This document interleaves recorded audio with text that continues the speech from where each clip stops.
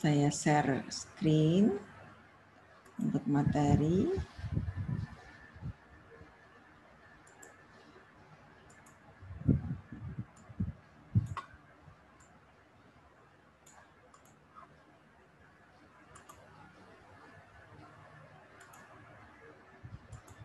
Maaf agak lama ya.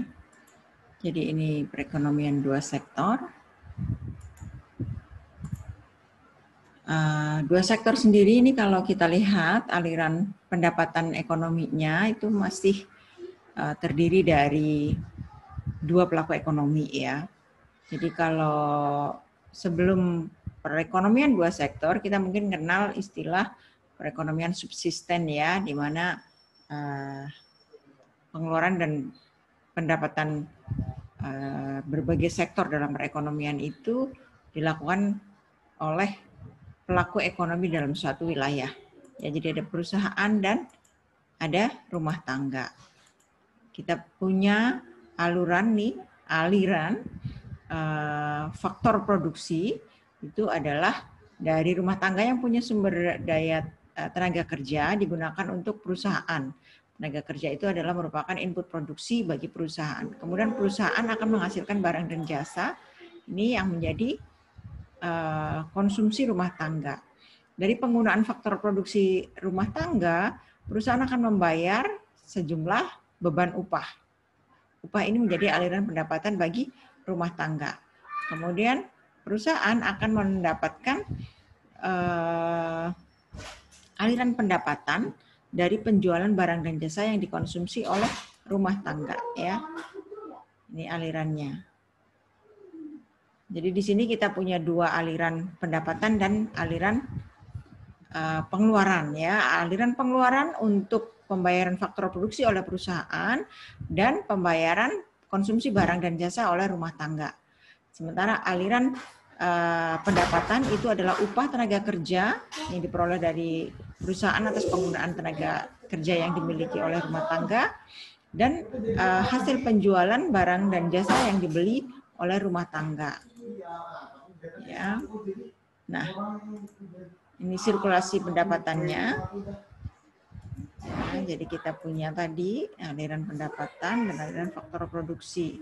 Di sini kita hadir lembaga keuangan ya. Lembaga keuangan ini uh, diperlukan untuk regulasi aliran kapital bagi perusahaan, aliran investasi ya. Eh, pengadaan dana investasi itu adalah berasal dari tabungan. Jadi S digunakan untuk I atau saving digunakan untuk investasi. Ya. Nah, ekonom klasik itu ini review di minggu pertama kedua ya untuk penentuan keseimbangan perekonomian. Kalau klasik sama Adam Smith kan kita beda ya. Karena kalau klasik tabungan dan pinjaman itu ditentukan oleh fleksibilitas tingkat bunga dan fleksibilitas tingkat upah ya. Jadi antara Keynes dan klasik itu sedikit berbeda. Kalau menurut Keynes bukan hanya semata-mata bunga tapi juga ada pendapatan masyarakat dan peredaran uang, uh, supply dan demand uang. Sementara upah itu uh, tidak fleksibel ya. Ada situasi di mana uh, tenaga kerja memiliki serikat sehingga tidak memungkinkan upah itu turun dengan serta merta ya. Kita lihat kalau uh, grafik agregat demand dan agregat supply-nya ya. Jadi memang kalau untuk perekonomian klasik kita pakai rate ya karena kapital itu dianggap sebagai uh, apa namanya stok sehingga dia mendapatkan investment, dapat rate tingkat bunganya ya. Kalau misalnya uh, permintaan uh, atau tawaran tabungan itu lebih rendah dari permintaan investasi ya pada tingkat uh, suku bunga yang berlaku, maka ini terjadi kelebihan tabungan karena tinggi ya, jadi uh, serapan untuk investasinya rendah. Kemudian kalau misalnya di sini uh, permintaan investasinya tinggi pada R2 ini, sementara yang ditawarkan uh, hanya di titik yang lebih rendah daripada permintaan investment ini namanya kelebihan investasi.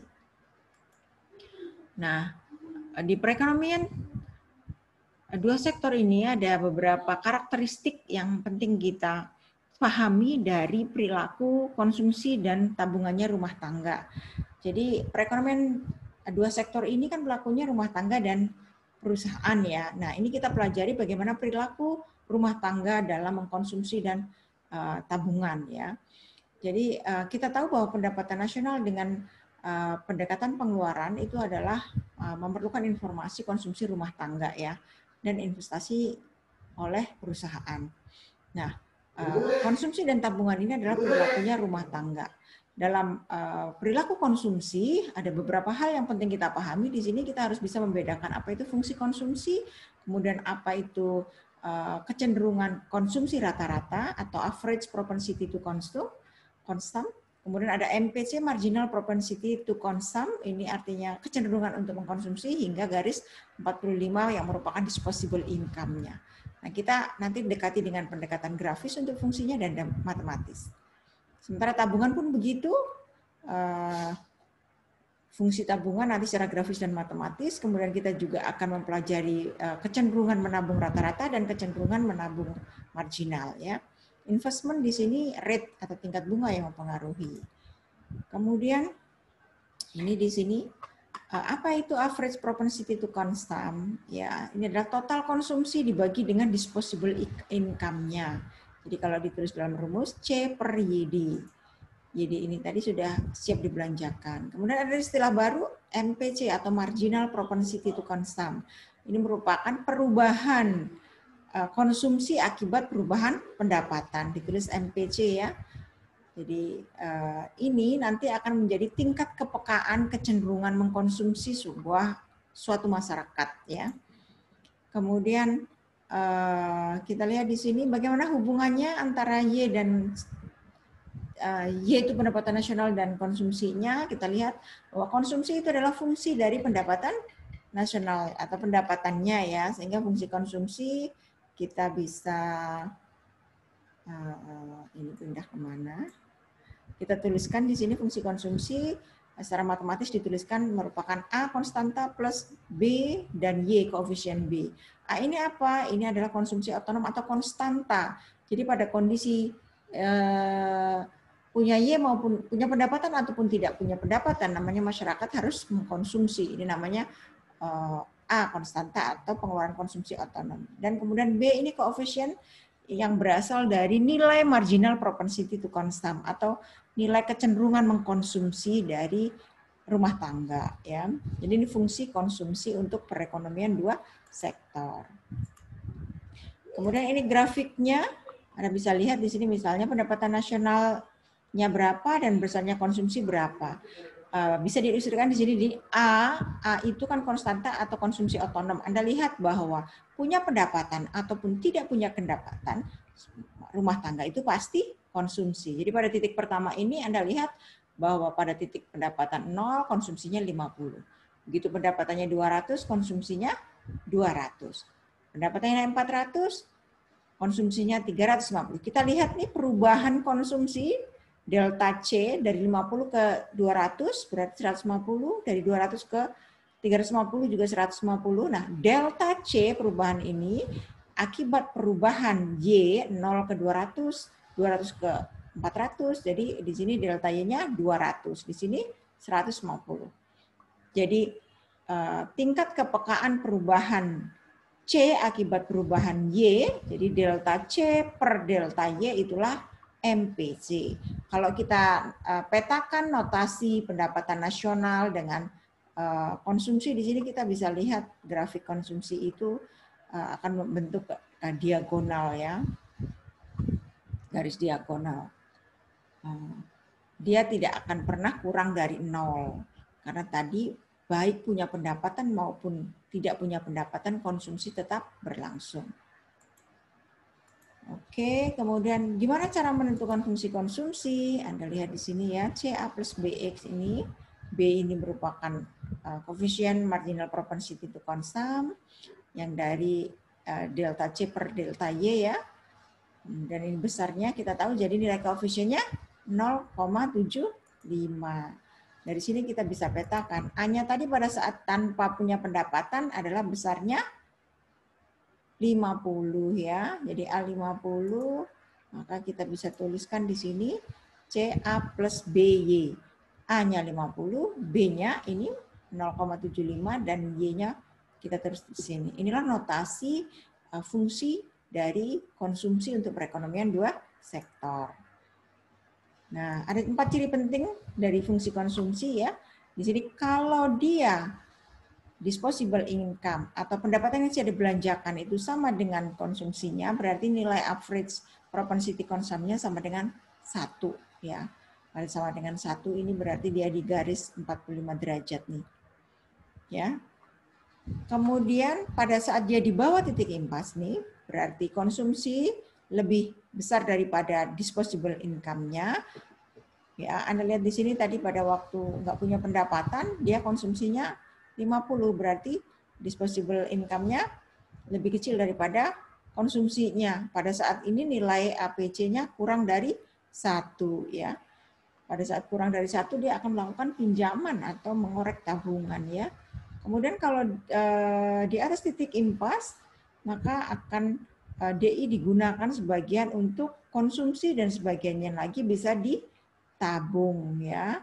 Nah, nilai besaran marginal propensity to consume itu selalu akan berada di rentang 0 sampai 1. Semakin mendekati 1 berarti eh, rumah tangga dalam suatu wilayah itu punya kecenderungan untuk menghabiskan pendapatan nasionalnya untuk konsumsi. Jadi lebih konsumtif kalau dia mendekati satu. Oke, tadi konsumsi, sekarang saving. Saving juga istilahnya sama dengan yang eh, konsumsi ya. Kita punya propensity to saving average rata-rata ya. Kemudian ada marginal propensity to saving. Maaf salah ini saya typo ya. Tadi masih ini belum ganti. Nah, fungsi tabungan ini secara matematis dinyatakan sebagai berikut ya. Tabungan adalah fungsi dari pendapatan nasionalnya. Ya, uh, tabungan itu adalah pendapatan yang tidak digunakan untuk konsumsi. Jadi sisa dari pendapatan nasional dikurangi konsumsi itu ditabung ya. Jadi ini merupakan pengurangan dari pendapatan dikurangi konsumsi. Kita tahu konsum, uh, fungsi konsumsi tadi adalah A plus BY ya, maka uh, fungsi tabungan kita akan punya Y min A min BY sehingga S sama dengan min A plus 1 min BY. B tadi adalah MPC ya. A ini adalah tabungan otonom. Tabungan yang diambil kalau Y-nya nol. Jadi uh, dia mengkorek tabungan atau pinjaman ya. Nah, maka besarnya marginal propensity to saving atau kecenderungan untuk menabung itu adalah besarnya selisih antara satu dikurangi marginal propensity to konsam atau del atau B. Jadi nilai MPS itu adalah 1 min B atau 1 min MPC ya. Bisa bedakan ya MPC dan MPS. Jadi besaran MPC dan MPS itu kalau dijumlahkan akan sama dengan 1 ya. Anda lihat di sini. Ya. Jadi kalau MPC-nya 0,75 pasti MPS-nya tinggal 1 min 0,75. Yang jelas MPC plus MPS sama dengan 1. Oke, sampai sini ya. Ini peta uh, grafik fungsi tabungannya. Dia akan dimulai dari kondisi tadi min A kan, tabungan otonomo, autonomus tadi uh, dia dari slope-nya negatif di awal ya. Dia nanti akan berpotongan dengan grafik pendapatan ya di titik tertentu misalnya di 200 pada saat konsum pendapatan nasional 200, tingkat tabungannya sama dengan 0. Bagaimana cara menentukan fungsi tabungannya? Tadi kan kita punya MPC 0,75 ya, tinggal dimasukkan nih. Besarnya MPS itu adalah 1 dikurangi MPC. Nah, maka fungsi tabungan bisa kita tuliskan min A plus 0,25 Y. Hanya berapa tadi? Nah, kita tahu S-nya adalah 50 min A-nya 0,5. Kita lihat konstantanya nih. berapa besaran konstanta? 50 min 100 jadi 50. Maka fungsi tabungannya menjadi min 50 plus 0,25. Jadi kalau A-nya konsumsi itu, di fungsi konsumsi kita punya nilai A, maka A di tabungan itu tinggal ditambahkan tanda minus.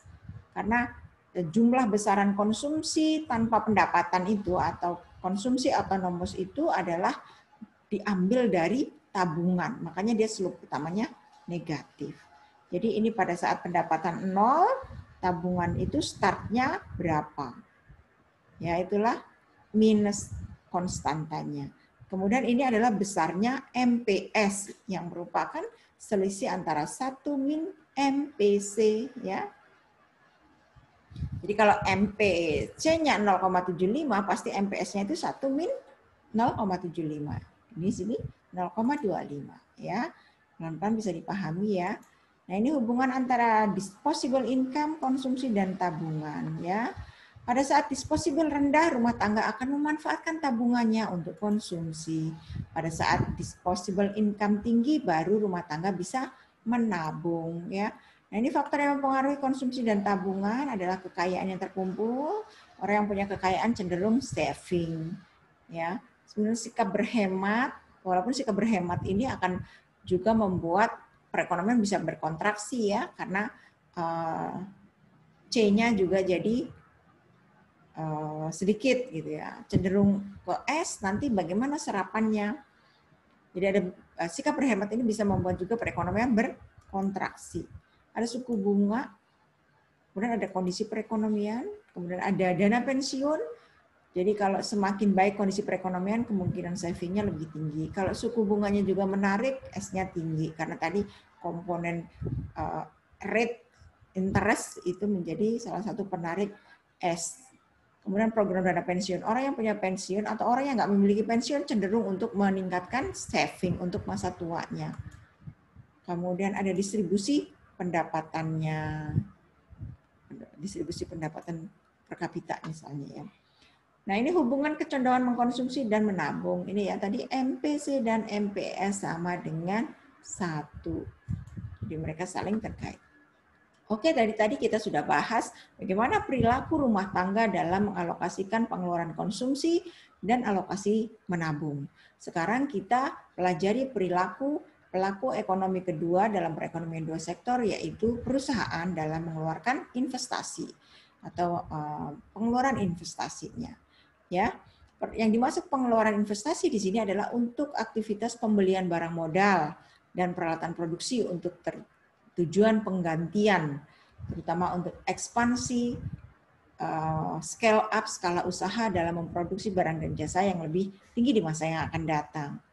Ya, jadi ini adalah uh, pengertian investasi termasuk di dalamnya adalah uh, penundaan konsumsi untuk menciptakan nilai tambah. Kemudian pengelolaan sumber daya produksi ya untuk memberikan manfaat yang lebih tinggi di masa yang akan datang. Nah, fungsi konsumsi sendiri dibedakan ada fungsi otonom atau yang terpengaruh dan fungsi yang uh, fungsi otonom yang tidak terpengaruh artinya tidak terpengaruh dengan besarnya pendapatan nasional. Kalau investasi terpengaruh berarti besarnya fungsi konsumsi ini akan tergantung pada pendapatannya ya. Jadi tadi hubungan antara tingkat investasi dan tingkat pendapatan nasional itu fungsi investasi. Apa yang memperhati apa yang menjadi penentu di sini tingkat keuntungan yang diperlukan yang diperkirakan akan diperoleh usaha. Jadi kalau usaha itu prospektif dalam perhitungan akan memberikan tingkat keuntungan yang tinggi, maka investasi investor akan tertarik untuk berkontribusi di sana. Kemudian tingkat bunga. Kalau terlalu tinggi, ya investasinya jadi mengkerut, stagnan, terkontraksi. Kemudian perkiraan kondisi perekonomian masa depan seperti Indonesia mungkin diberitakan ada indeks investasi di Indonesia. Kalau Indonesia tidak menjanjikan, makanya presiden kita dan jajarannya sibuk mengundang investasi asing, PMA, penanam modal asing, untuk menambah unsur belanja investasi dari perusahaan supaya dalam perhitungan pendapatan nasional ingat dengan pendekatan pengeluaran I ini akan sangat berpengaruh ya kalau I-nya besar diharapkan PDB-nya besar. Makanya ini presiden dan jajarannya membuka keran, menciptakan undang-undang baru tuh Omnibus Law untuk cipta kerja. Karena uh, pemerintah itu meyakini pekerjaan tidak akan tercipta, lapangan usaha tidak akan terbangun, usaha tidak akan tumbuh kalau investasi nggak masuk. Jadi kita buka keran semua sektor supaya investor asing masuk ya dan investor dalam negeri juga diharapkannya sih berkontribusi. Tetapi ini inilah yang uh, kondisi dilematis di kita ya. Anda lihat uh, bahwa Undang-Undang Ketenaga Kerjaan kita tak nomor uh, 13 tahun 2000 nomor nama tahun 2013. Ibu lupa ya Undang-Undang Ketenaga Kerjaan itu uh, itu diratifikasi dengan Cipta Kerja sekarang gitu. Kalau dulu di Undang-Undang 13 itu 2003, oh ya, Undang-Undang Nomor 13 Tahun 2003 tentang ketenaga kerjaan.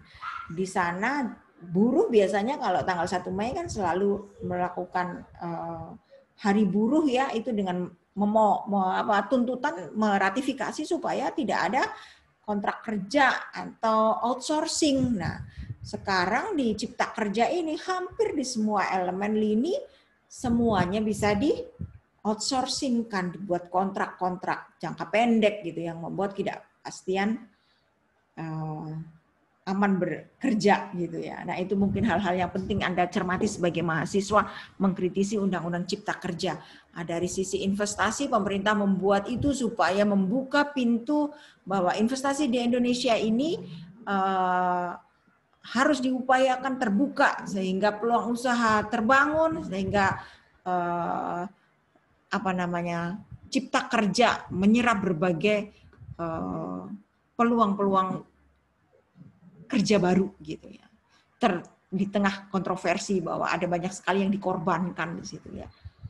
Nah ini uh, salah satunya kenapa pemerintah concern sekali meningkatkan investasi ya. Nah ini yang melakukan investasi ini pemerintah swasta, pemerintah swasta ya, termasuk juga rumah tangga memang. Tapi kalau rumah tangga uh, tidak disorot sebagai pengeluaran investasi ya. Nah, empat komponen investasi di sini nih perusahaan swasta, pengeluaran untuk mendirikan tempat tinggal, penambahan inventaris perusahaan atau inventaris sediaan, kemudian investasi yang dilakukan oleh pemerintah. Kenapa investasi penting dalam perekonomian ya? Karena memang investasi itu sumber penting uh, kegiatan perekonomian ya kalau investasi masuk dalam sebuah perekonomian, maka akan muncul lapangan-lapangan usaha baru yang di situ memberikan kesempatan kerja. Kesempatan kerja ini kan artinya akan memberikan tambahan pendapatan sehingga eh, perekonomian itu akan memiliki daya beli untuk pendapatan sektor-sektornya untuk menghasilkan produk dan jasa sehingga pendapatan nasional meningkat. Kalau pendapatan nasional meningkat, taraf kemakmuran rakyat meningkat. Itu diharapkan dari multiplier efek bekerjanya investasi dalam perekonomian. Jadi ini lihat yang pertama Anda lihat eh, dalam perekonomian kalau I-nya naik maka komponen pengeluaran agregat ini AE-nya akan naik. Kalau AE naik, Y pendapatan nasionalnya juga naik. Kemudian pertambahan barang modal menambah kapasitas produksi. Kalau kita pendapatan nasional dihitung dengan pendekatan produksi, kalau kapasitas produksi naik, sektor-sektor perekonomian kapasitas produksinya naik, maka Y-nya akan naik, pendapatan nasionalnya naik. Kemudian investasi akan diikuti dengan juga perkembangan teknologi. Kalau perkembangan teknologi meningkat, produktivitas masyarakat sebuah wilayah juga meningkat. Diharapkan kemampuan menghasilkan produk dan barangnya juga meningkat sehingga pendapatan per kapita masyarakatnya meningkat. Itulah uh, yang dipercaya kita semua untuk perekonomian ya. Jadi investasi itu penting sekali menggerakkan uh, roda perekonomian. Uh, oh iya, uh, penting dimengerti di sini ya. Sebenarnya konsep investasi itu sangat sesuai dengan Islam ya. Tapi yang tidak sesuai di sini adalah bahwa investasi itu rujukannya adalah rate tingkat bunga ya. Jadi orang melakukan aktivitas investasi karena tertarik tingkat bunganya, pengembalian modal bunganya. Nah, padahal kalau dalam Islam Investasi diperlukan untuk modal kerja. Jadi untuk usaha. Jadi makanya ada pemilik modal, ada yang uh, pihak yang menjalankan usahanya. Tetapi usaha real itu harus digunakan dan menghasilkan pendapatan. Pendapatan itulah yang nanti dibagi hasil, bukan karena tingkat bunganya. Kalau kita menggunakan uh, modal investasi pinjaman dari perbankan, maka perhitungan tingkat bunga yang harus kita bayarkan, ya.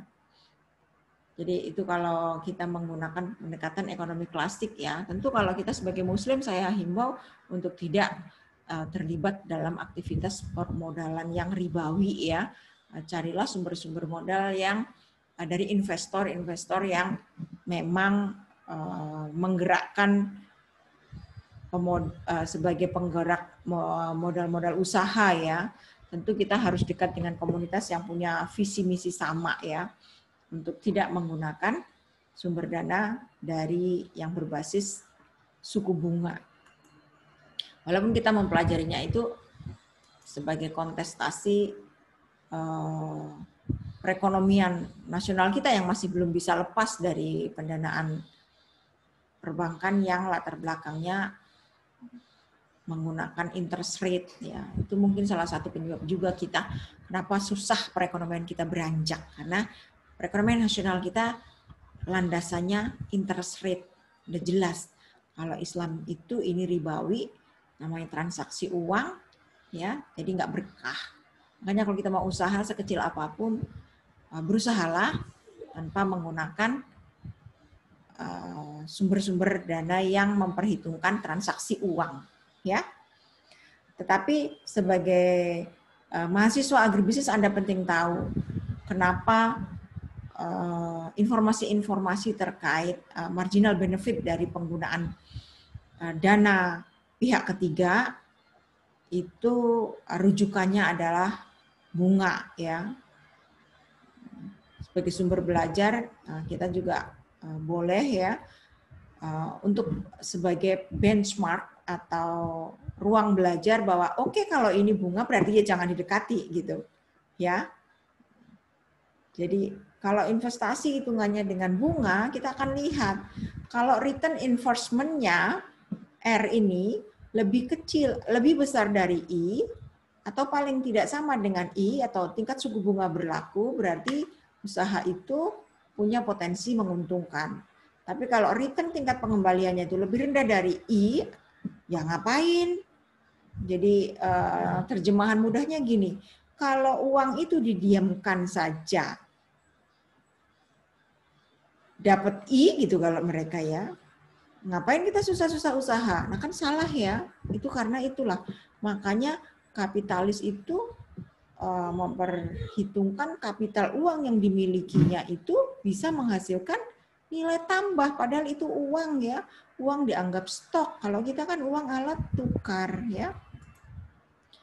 Kemudian uh, ini ada beberapa teori investasi ya untuk tapi sama pandangannya klasik ya saran saya banyaklah membaca tentang landasan halal haram kontemporer ya untuk investasi. Tapi dalam perekonomian kita penting juga mempelajari ini ya. Uh, ini lihat kurvanya ya. Ini yang terpengaruh ya, artinya besaran I akan mempengaruhi atau terpengaruh dengan pendapatan nasional. Di sini uh, hubungan I dengan R, Anda lihat di sini kalau terlalu tinggi maka investasinya rendah ya, nggak beranilah nggak kuat, ngapain kita kerja keras hanya bayarin bunga bank ya. Makanya mikir-mikir lah kalau minjem itu. Yang jelas Anda bisa tahu sekali, mungkin ngobrol sama lingkungan orang terdekat Anda, yang paling terpukul dari krisis pandemi ini adalah orang yang terlibat pinjaman perbankan.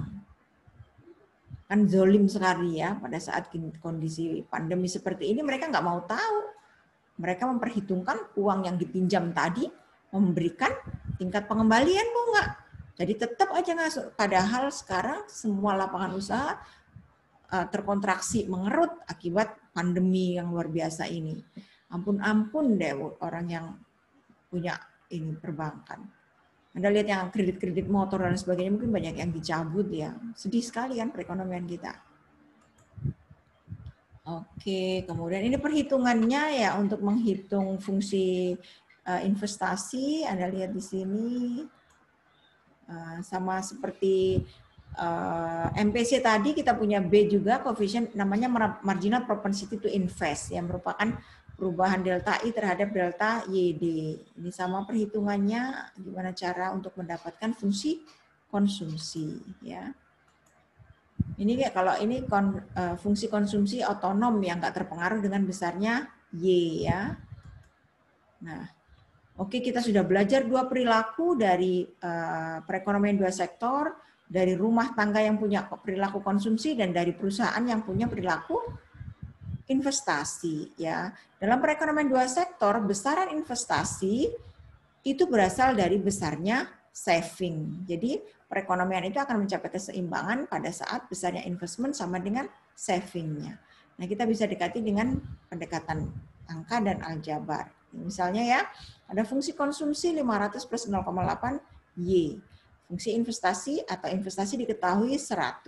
Itunya besarlah uh, hitung besarnya tingkat pendapatan pada saat keseimbangan. Maka kita bisa dekati dengan di sini ada fungsi uh, konsumsi. Kita punya investasi. Karena yang ditanya adalah pendapatan keseimbangan pada saat konsumsi sama dengan eh salah, pada saat saving sama dengan investasi, maka yang kita cari adalah fungsi savingnya. Ingat fungsi saving itu adalah uh, ini kalau kita bisa langsung aja min A plus MPS plus atau MPS kali Y-nya ya. Min S, eh, min A 500 A-nya kan jadi min 500. Kemudian ini 0,8 ini kan MPC ya. Sementara MPS itu adalah 1 min MPC, berarti 1 min 0,8. Nah, kita langsung bisa dapat fungsi tabungan. Karena tadi keseimbangan tercapai saat tabungan sama dengan oh, maaf, tabungan sama dengan investasinya, maka kita masukkan tadi fungsi investasi. Nah, kita dekati dengan pendekatan aljabar sehingga diperoleh ya keseimbangan besarnya 3000. Nah, kita pada 3000 lah ini keseimbangan tercapai. Tadi S-nya kan min A-nya 500 ya, jadi kita mulai dari 500. Maka ini pendekatan grafis keseimbangan. Tapi ini pendekatan suntikan bocoran ini namanya ya, kalau suntikannya tabungan dan bocorannya investasi pendekatan agregat expenditure-nya yang AE sama Y sama dengan AE sama dengan C plus I belum ya. Nanti Anda coba latihan di rumah ya. Oke, itu keseimbangan. Sekarang kita masuk ke multiplier. Multiplier ini adalah uh, dampak dari tambahan uh, unsur dalam perekonomian terhadap pendapatan nasional ya Uh, unsur-unsur uh, pendapatan yang kita pelajari di sini kalau mengalami perubahan itu adalah unsur investasi. Jadi besarnya perubahan investasi terhadap besarnya perubahan pendapatan nasional itu bisa dihitung dengan nilai multiplier. Multiplier sendiri bisa didekati secara matematis. Ini sebagai notasinya satu per satu min MPC. Ingat satu min MPC kemarin juga namanya MPS ya. Jadi besarnya pendapatan tambahan nasional pendapatan nasional akibat tambahan pendapatan akibat tambahan investasi itu akan berlipat sejumlah multipliernya atau satu per satu min MPC atau satu per MPS kali jumlah delta atau tambahan investasinya. Ini misalnya kita ilustrasikan gini.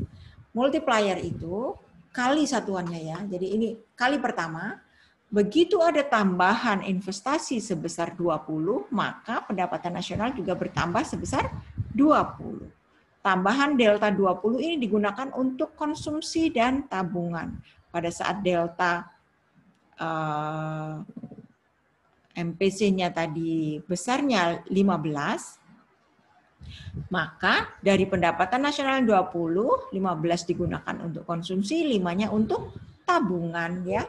Kita tahu tadi di tahap multiplier pertama ada tambahan konsumsi sebesar 15. Maka kita punya hitungan multiplier tahap kedua pada saat tambahan konsumsi sebesar 15. Tambahan konsumsi sebesar 15 ini ini menjadi tambahan pendapatan nasional. Nah, tambahan pendapatan nasional ini digunakan lagi untuk konsumsi dan saving. Tadi ini akan sesuai dengan besarnya MPC-nya ya. Nah, tadi MPC kita kan 0,75. Jadi yang tambahan delta ya ini kita kalikan nilai MPC-nya nih. Kemudian delta S adalah pengurangan dari delta Y terhadap min delta C-nya gitu selisihnya. Terus sampai multiplier pembaginya hasilnya nol sehingga kita lihat di sini tahapan multipliernya menghasilkan tambahan pendapatan nasional sebesar 80, tambahan perubahan konsumsi 60 dan tabungannya 20. Karena delta Y adalah penjumlahan dari delta C dan delta S ya. Berapa kali ini multiplier terjadi? Nah, ini kita bisa hitung dengan menggunakan formula matematis tadi 1 per MPS. Ya. Besarnya tambahan pendapatan kita bisa kali multiplier dikali dengan delta I-nya ya. Ini juga ada ilustrasi lagi nanti Anda coba ya. oh ternyata ada tambahan uh, proses kecenderungan multiplier tadi ya. Multiplier penggandanya ini tadi satu per 1 min MPC atau 1 per MPS berarti 1 dibagi 0,2. Nah ini 5. 5 ini artinya multipliernya 5 kali. Berarti ini tambahan investasi sebanyak 100 juta itu akan mendapatkan tambahan pendapatan nasional dikali 5 multipliernya. 100 kali 5. Jadi total tambahan pendapatan nasional dari tambahan 100 juta itu ternyata nambahnya jadi lima kali lipatnya. Itu namanya multiplier investasi. Ya. Jadi eh, tambahan investasi 100 itu nambah ke pendapatan nasional nggak cuma 100 ya. Karena tadi ada dampak penggandanya. Dampak pengganda ini yang disebut sebagai multiplier. Berapa besarnya multiplier? Tadi bisa kita cari satu per MPS-nya. Satuannya kali Oke, pada kondisi di sini MPS nilainya 0,2, multipliernya nilainya 5 kali. Jadi pada saat tambahan investasinya 100 juta, maka tambahan pendapatan nasionalnya akan nambah 5 kali 100 juta. Jadi 500 juta. Bisa ya hitung nilai multiplier untuk perekonomian dua sektor. Oke, ini ada beberapa contoh berikutnya, nanti bisa dipelajari. Di BPP juga Anda coba di rumah ya untuk latihan ya ada kunci jawabannya juga dan Anda bisa petakan tadi untuk ke grafiknya ya. Ini beberapa soal contohnya. Oke, itu kurang lebih materi kita ekonomi makro untuk perekonomian dua sektor ya cukup panjang dan saya harap Anda menikmati proses belajarnya ya memahami ini Eh, bagaimana keseimbangan perekonomian dua sektor bisa tercapai. Jangan di, uh, dibawa beban, easy going aja, nanti kita bertahap, nanti kalau Anda bisa melakukan pemecahan soal-soal matematisnya, pasti akan terbantu pemahaman, oh ternyata keseimbangan perekonomian dua sektor itu tercapai dengan kondisi pendekatan matematisnya seperti ini, secara grafisnya kita petakan seperti itu, gitu ya. Uh, santai saja. Yang saya paparkan di sini pendekatan suntikan bocoran. Nanti Anda coba latihan untuk yang pendekatan pengeluaran ya. Jadi uh, Y sama dengan AE sama dengan C plus I gitu. Jadi berarti Anda pakai petakan fungsi konsumsinya masuk dalam persamaan matematisnya. Tadi yang saya contohkan persamaan dari fungsi konsumsi untuk mencapai keseimbangan sama dengan fungsi investasinya. Jadi nanti kalau fungsi pengeluaran pendekatannya Y sama dengan AE sama dengan C plus I. Jadi Y sama dengan fungsi konsumsinya ditambah dengan investasinya. Nanti akan dapat nilai keseimbangan besarnya pendapatan saat keseimbangan. Oke, sampai di sini semangat untuk terus belajar ya. Saya akhiri. Assalamualaikum warahmatullahi wabarakatuh.